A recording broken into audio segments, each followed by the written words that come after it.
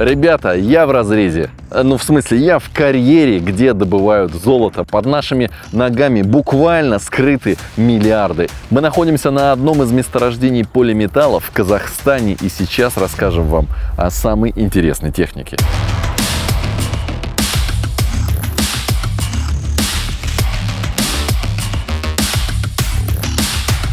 Знакомься, этот самосвал называется Komatsu HD 785-5. Название как у принтера, но это, ребята, не принтер. Объем его двигателя 30 литров, мощность больше 1000 лошадей, и он берет на борт около 90 тонн, столько примерно весит Ту-154. При этом в салоне это обычный японский внедорожник. Мы прилетели в Казахстан и добрались до этого карьера, чтобы показать тебе одну из самых интереснейших машин. Итак, под капотом здесь дизельный V12 объемом 35 литров, мощностью 1050 лошадей. Вы только посмотрите, какое невероятное количество радиаторов требуется для того, чтобы охлаждать все системы этого двигателя. И посмотрите, сколько у него фар. Две здесь, плюс еще один светодиодный элемент. Еще одна такая, будем называть ее противотуманка, поворотник. В общем, освещения этой машине нужно много. Давайте теперь посмотрим на эти колеса. Их размерность 27.20 R49. Это мишленовские колеса, стоимость каждого из которых примерно составляет миллион рублей. И, конечно, их ни в коем случае нельзя изнашивать до взрыва, потому что взрыв такого колеса – это очень-очень больно.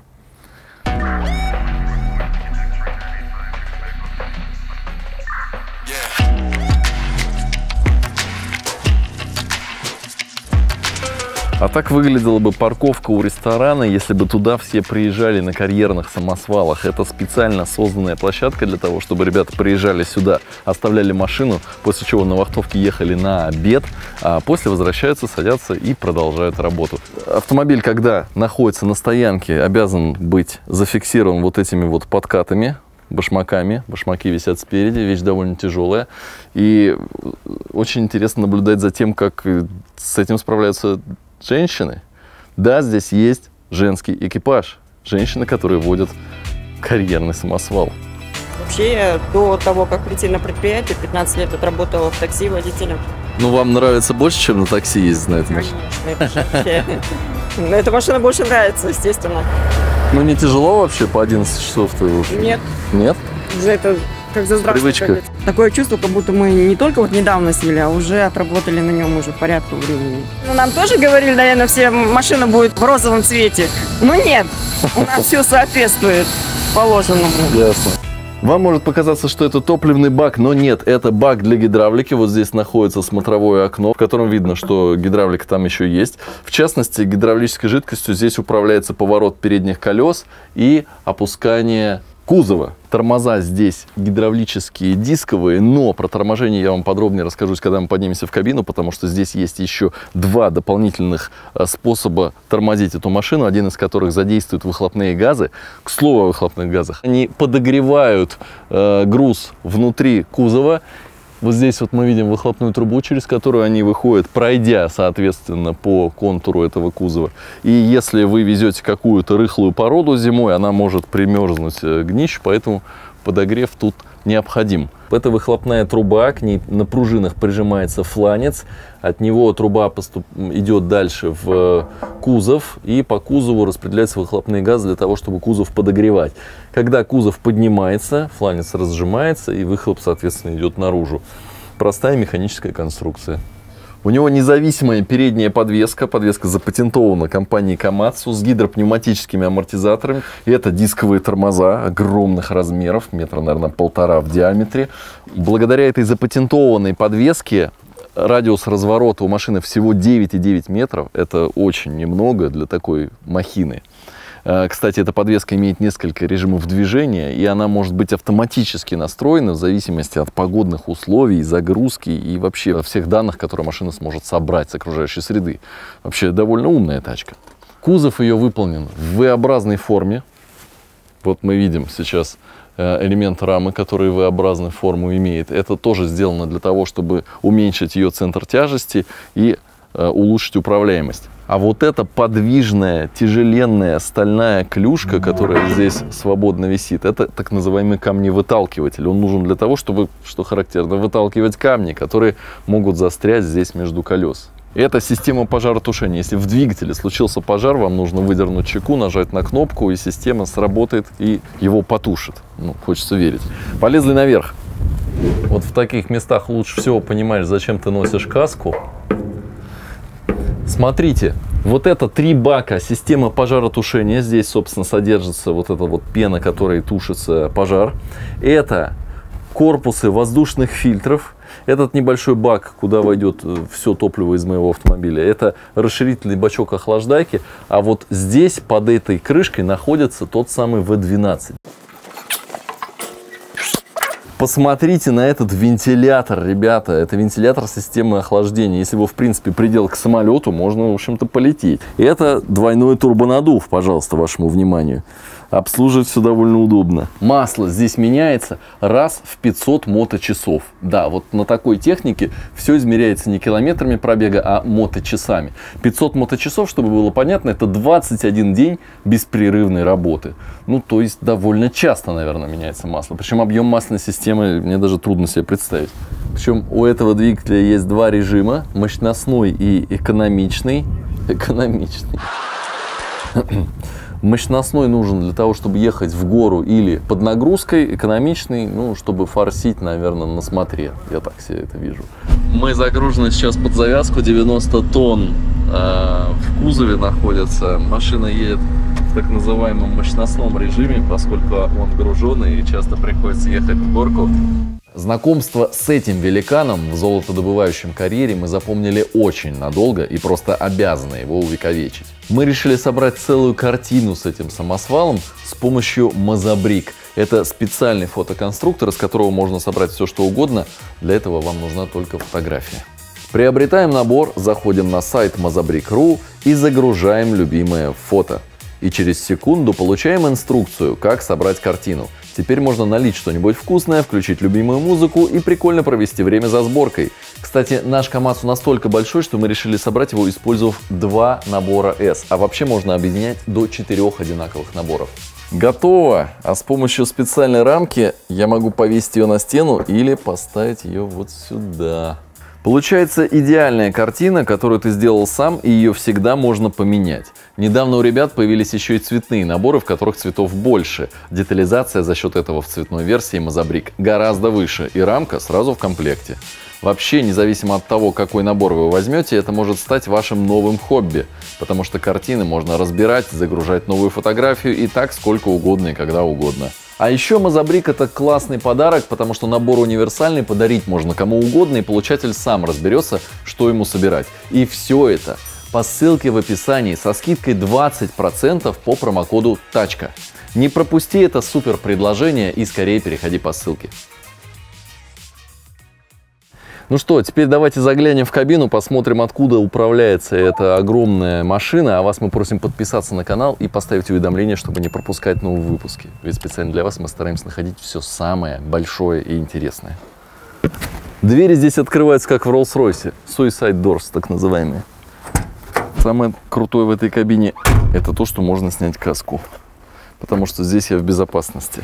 Этот салон напоминает мне салон какого-то японского внедорожника из 90-х. Серьезно, вы садитесь и первое время даже не можете поверить, что вы находитесь за рулем карьерного самосвала. Вам кажется, что поскольку он такой большой, то и внутри у вас все должно быть огромное.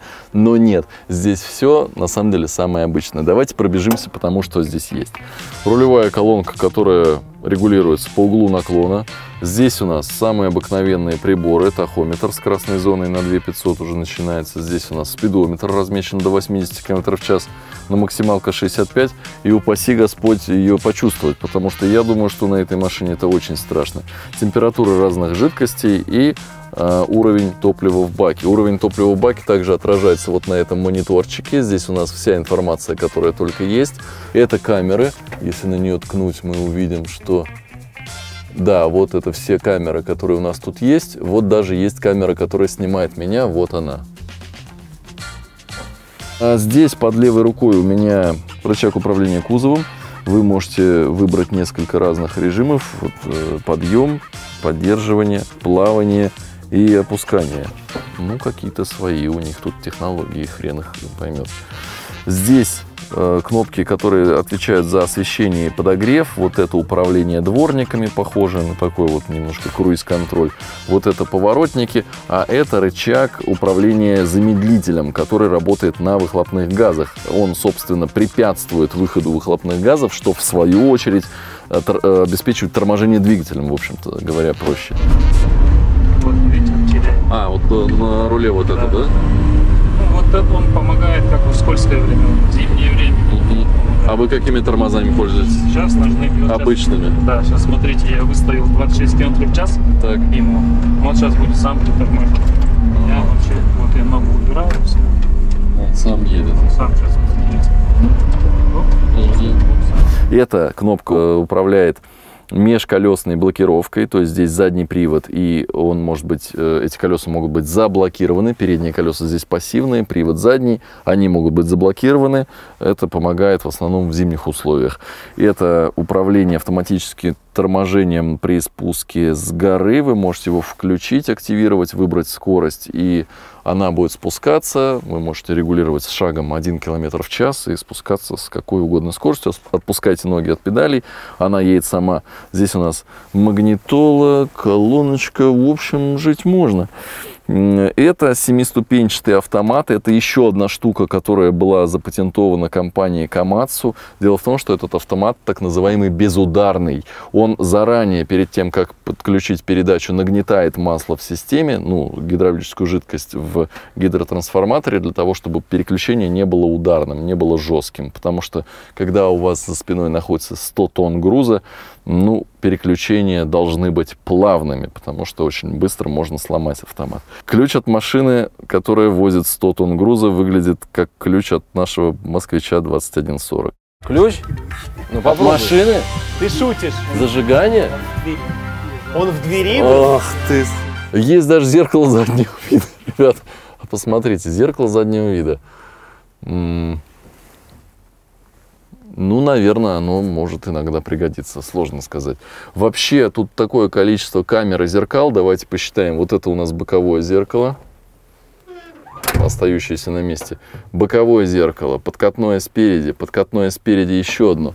Вот еще одно зеркало. Это Ромка сидит, грустит. Видите, я работаю за двоих. Вот еще два зеркала. Плюс камера. В общем, обзорность на этой машине очень хорошая, потому что вся кабина остеклена. Но вы сами понимаете, что благодаря размерам этой машины обзорности недостаточно. Нужно, чтобы вы были кругом обложены зеркалами и камерами, потому что безопасность прежде всего. Вообще Komatsu это лидер в количестве моделей карьерных самосвалов. Они производят самую широкую гамму таких машин. И, конечно, это не самая большая их машина. Самая большая везет 370 тонн и называется модель 980E.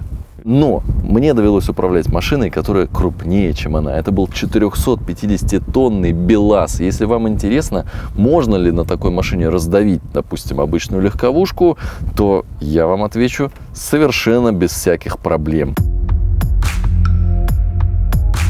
Несколько слов о том, что здесь сейчас происходит.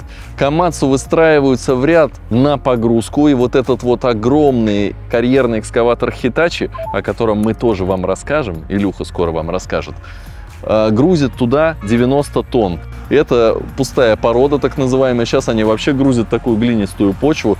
После чего здесь будет производиться взрыв для того, чтобы углубляться в карьере как можно глубже, для того, чтобы получить доступ к золотой руде. После чего они уезжают на так называемый отвал и сваливают породу там, образовывая вот эти вот бесконечные отвалы, уходящие в небо. Огромный карьер, хотя по меркам компании Полиметалл он довольно маленький, его протяженность 5 километров. И, в общем, средняя жизнь карьера такого примерно 8 лет, и добывается здесь очень много золота. Но как много? Из одной тонны руды добывается всего полтора грамма золота. То есть сейчас на борту этого Камацу из 90 тонн руды может быть добыто всего 135 граммов золота. Это такая хорошая цепочка. Представьте, что вот в этом Камацу едет всего лишь одна золотая цепочка. Время от времени в карьере для того, чтобы углубиться дальше в породу, происходят взрывы. Вот сейчас произошло несколько таких. Нас эвакуировали на далекое расстояние. Мы не слышали ни звука взрыва, ни звука сирены.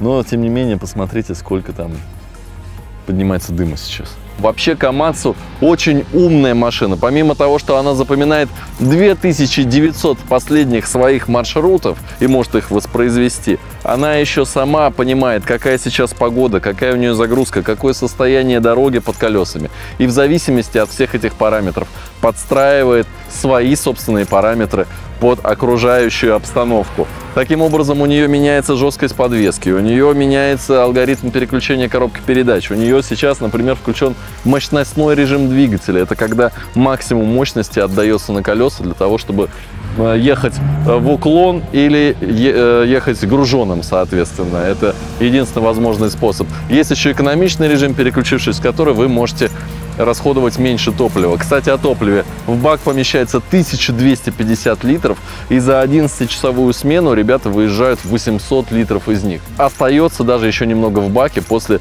целого дня работ. Здесь как раз машины проходят ТО, видите, нужно заехать в такой небольшой ангарчик, и там уже машина обслуживается.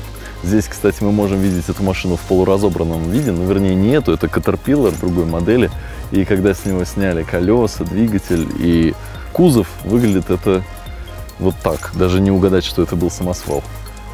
Это был наш рассказ про Камацу HD 785 прямо из Казахстана. Огромное вам спасибо за просмотр. Подписывайтесь на канал и ставьте уведомления, чтобы не пропускать новые выпуски. А если думаете, чем заняться после этого ролика, мы подобрали для вас специальные плейлисты.